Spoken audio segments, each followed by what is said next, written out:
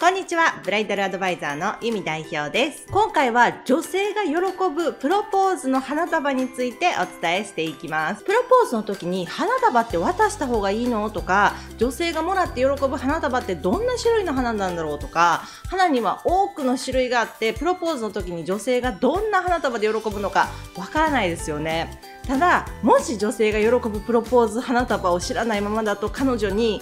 え？花束選びのセンスなさすぎ。別の花束が良かったなとか思われてしまうかもしれません。せっかくのプロポーズなので彼女が泣くぐらい喜んでほしいですよね。女性が喜ぶプロポーズの花束が分かるとどんな花束をあげれば喜ぶのか彼女が喜ぶ顔を見ることができてまさに一生に一度にふさわしいプロポーズになります。実際ブライダルナビに相談にお越しになられた20代の男性の方も今回の動画でお伝えする女性が喜ぶプロポーズ花束のお渡しを実践されたら彼女が泣いって喜んでくれたとおっしゃっていました。ですので女性が喜ぶプロポーズ花束を知らない方はこの動画をぜひ最後までご覧ください。ブライダルナビではこのようなプロポーズの相談も無料で受け付けておりますのでブライダルナビの公式 LINE の追加もよろしくお願いします。ということで今回の動画ではそもそも女性が花束を欲しいしい理由、花束でのプロポーズ成功の秘訣、花束の相場って、バラの本数の意味、ここまでやれば完璧、この5点についてお伝えしていきます。では行きましょう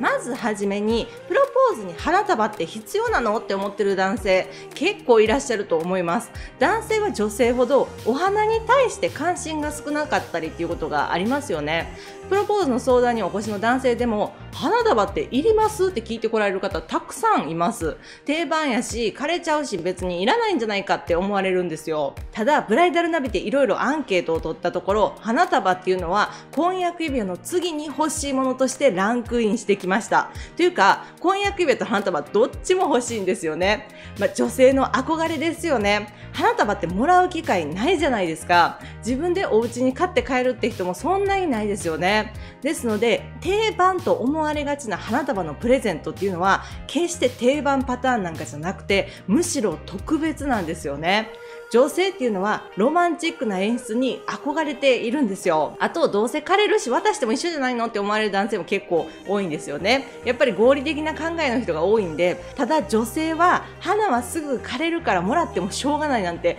思ってないんですよ。逆にお花ってその美しさを保つことができるのが本当に一瞬。実際ちゃんとお水とか変えてももう1週間か、まあ、よくて2週間ぐらいですよね。そのわずかな時間にお金をかけるからこそ最高の贅沢品っていうことなんですよ。でそれを渡すのって大事な人にしか渡さないですよね。だから女性はもらって嬉しいんですよ。そして男性も花束を渡すことで自分の気持ちを伝えることができるんですよ。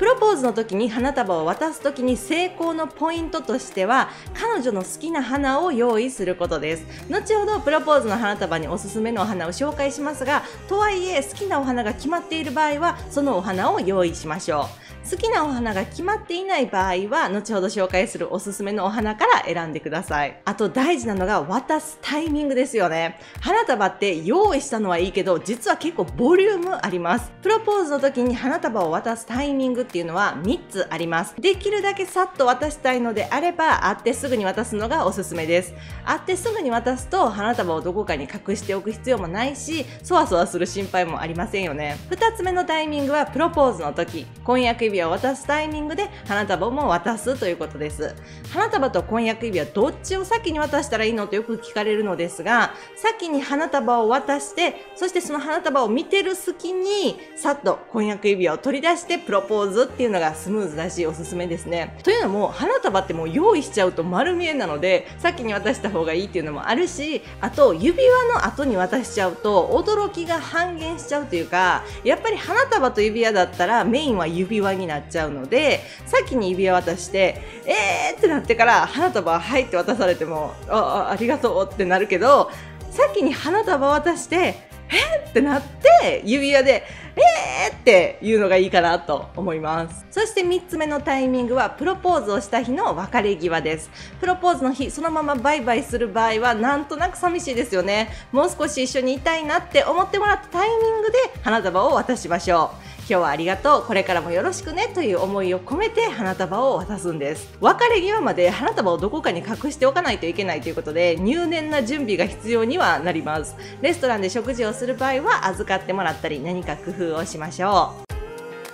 花束ってそもそも買う機会がないから一体いくらくらいす。るのかわからないという方も多いです。よねお花の種類によってもちろんお値段って変わるんです。けどプロポーズにおす。す。めのお花だとだいたい1本300円から700円ぐらいですので10本だと3000円から7000円ぐらいですよねどれだけ花束を豪華にしたいのかっていうのと予算の都合がポイントなんですよね予算の関係で一輪だけ渡すというのもありですがやっぱり少なかったとしても束になってってる方がおすすめかなと思いますね。プロポーズの花束には一般的には5000円から2万円程度が相場と言われています。ただ、私の感覚ですけど、30本超えると重ってなるんですよ。だから気合入れて50本、100本とか渡したいと思ったら、帰りまで彼女をサポートしてあげることが必要です。結構でかいです。100本で重さ5キロぐらいあるって言われてますから、なので、ラウンドブーケにしてコンパクトに仕上げてもらうっていうのもありです。このようなことはお花屋さんに相談して出来上がりのサイズを確認しながら花束を作ってもらうようにしましょう。おすすめのお花でまず王道なのがバラですよね。プロポーズといえばバラ。バラといえばプロポーズみたいな感じでしょうか。バラだけの花束ってすごい高級感があるし、プロポーズならではの特別感がありますよね。中でも赤いバラの花言葉はあなたを愛していますなので、プロポーズにぴったりなんですよ。バラの花って色によって花言葉が違っていて、白色のバラは花言葉は純潔。私はあなたにふさわわし。ピンクのバラの花言葉は上品、感謝とかいう意味があります。送るバラの本数によっても意味が変わるんです。1本だけは一目惚れ、あなただけという意味があるんですよね。だから1本だけっていうのは付き合い始めとかカップルの記念日とかにおすすめですね。11本は最も愛おしい人。21本は真実の愛、あなただけに尽くします。33本は生まれ変わってもあなたを愛します。40本は死ぬまで変わらぬ愛。99本は永遠の愛。ずっと一緒にいてくださいっていう意味ですね。100本は100%の愛。そして108本が結婚してくださいなんですよ。バラにはいろんな意味があるんですよね。ちなみに12本のダズンローズというのがあるんですけど12本は私の妻になってくださいという意味もあり女性がイエスの返事の代わりにその12本の中から1輪抜き取って彼に渡すっていうヨーロッパの逸話もあります。ロマンチックですよね。バラ以外にいい花は何ですかというお声もあります。チューリップは赤色の花言葉は愛の告白なので春のプロポーズにぴったりです。紫色のチューリップは不滅の愛。ピンク色のチューリップは誠実な愛という花言葉もあります。そしてひまわりは夏のプロポーズにおすすめです。花言葉はあなただけを見つめているです。ひまわりのような明るい家庭にしましょうというメッセージを込めて送るのも素敵です。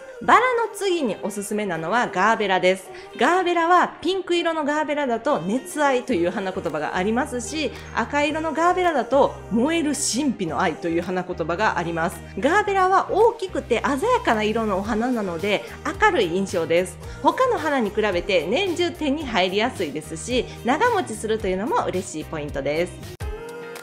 プロポーズというのは普通の記念日とは違って一度きりの特別なものです。単純に花束を渡すよりもお手紙もあればよりロマンチックで印象的なものになります。なんて書いたらいいかわからないという場合はプレゼントする花の本数に込めた意味や花言葉を綴るのもいいんじゃないんでしょうか。花は枯れてしまいますが手紙やカードは残すことができるのでせっかくなので花束と一緒に花について手紙を書くのがおすすめです。そうすることで結婚後もずずっとその時の思いを忘れずにいることができます。そして花束を送った後どうしても残しておきたいという場合3つの加工方法があります。まず1つ目はプリザーブドフラワーに加工する方法があります。そういう業者があるので探してみるのがおすすめです。プリザーブドフラワーにすると長期保存ができて家にずっと飾っておくことができます。加工方法2つ目はドライフラワーにする方法です。吊るして乾燥させて作るのですが、アンティークな風合いになるので2度楽しめます。そして加工方法3つ目は押し花にする方法。